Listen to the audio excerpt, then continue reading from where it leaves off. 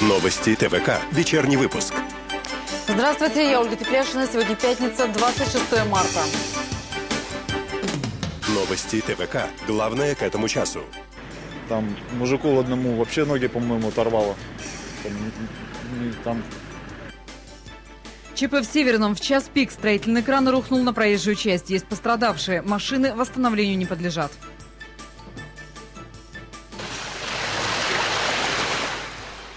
По самые уши реки на дорогах и дождь с потолка в квартирах. Красноярск тонет в грязи. То ли еще будет. Этот проект был поддержан и председателем правительства, и председателем партии.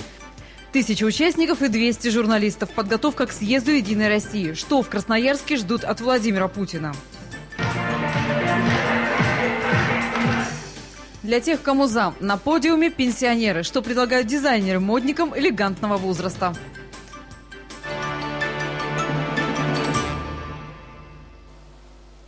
Мы начинаем выпуск с чрезвычайного происшествия. Сегодня днем на улице 9 мая прямо на проезжую часть рухнул строительный кран. На оживленном перекрестке загорелся красный сигнал светофора. Автомобили остановились, и именно в этот момент тяжелый кран высотой в 40 метров рухнул на машины и людей. Несколько человек получили серьезные травмы. Девять автомобилей восстановлению не подлежат. С места событий репортаж Александра Стешакова.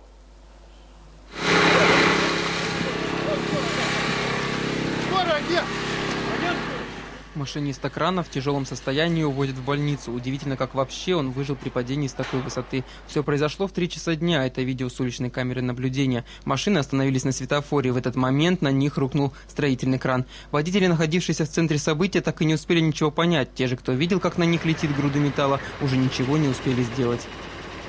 Ну, я ехал по 9 мая в ту сторону. Решил развернуться здесь по стрелке. Здесь пробка была. Ну, еду.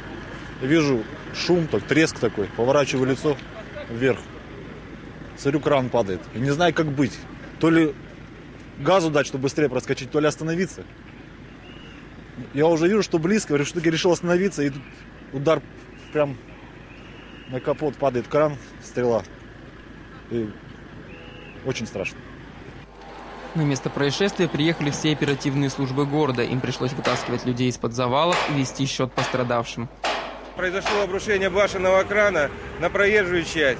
Пострадало, де- э, было придавлено 9 человек, в настоящее время пострадавших 5. Два в тяжелом состоянии, два в среднем состоянии, один в легком состоянии. До прибытия спасателей все, кто оказался на месте, сами оказывали друг другу помощь. Но мы кинулись смотреть там жертвы. Там два с мужиками, там две женщины вытаскивали из машины. Там мужику одному вообще ноги, по-моему, оторвало. Там, не, там не могу. Во многом именно светофор позволил избежать большего количества жертв. Если бы машины ехали, то люди пострадали бы еще и во многочисленных столкновениях. Ни службы спасения, ни чиновники пока не могут озвучить причины происшествия. Я думаю, что о причине говорить рано. Сейчас сюда следуют э, из прокуратуры представители. И так как все-таки это кран, это область надзора, Ростехнадзора, видимо, расследование будет еще впереди. Поэтому говорить о каких-то причинах я воздержусь.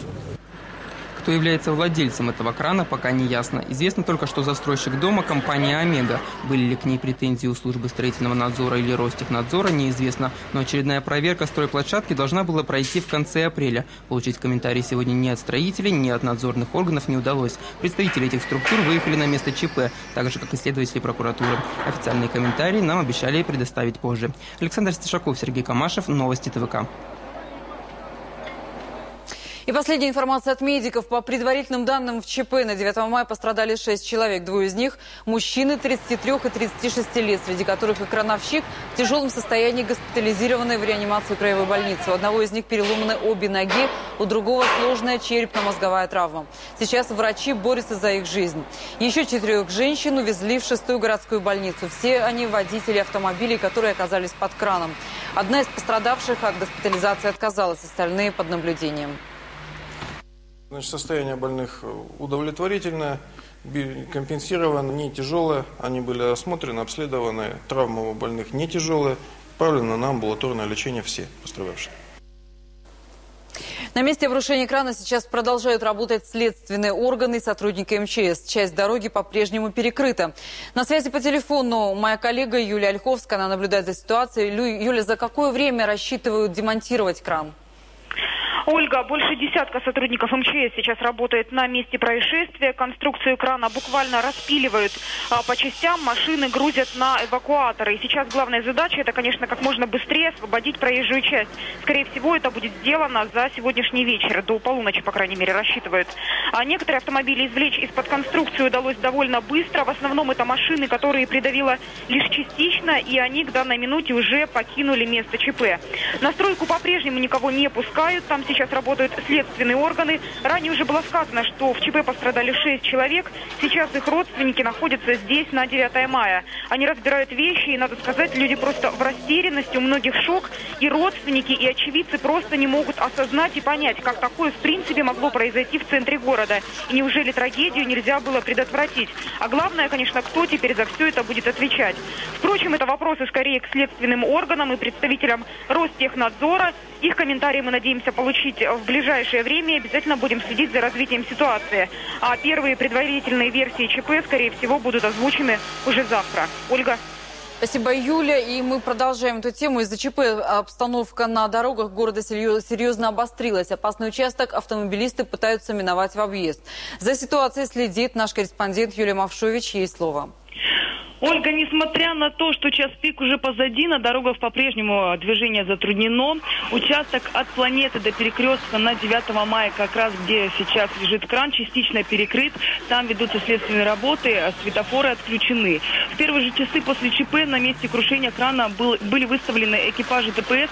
На всех перекрестках инспекторы вручную регулировали движение автомобилей. Поток машин, в том числе и общественный транспорт, пустили в объезд.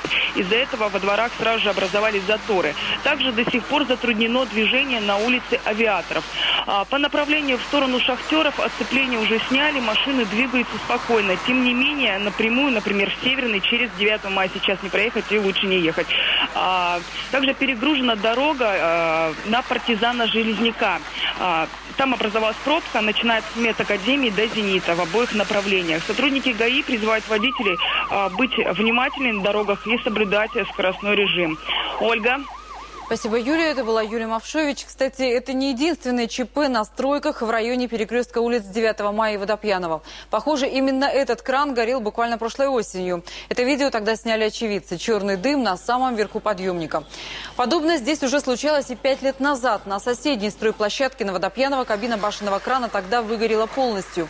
По предварительной причине произошло замыкание. Обошлось без пострадавших. Сегодня же случилось самые серьезные ЧП. И очевидно, как это обычно бывает после подобных происшествий, сейчас все стройки Красноярска будут проверять специалисты. А мы продолжаем следить за развитием событий.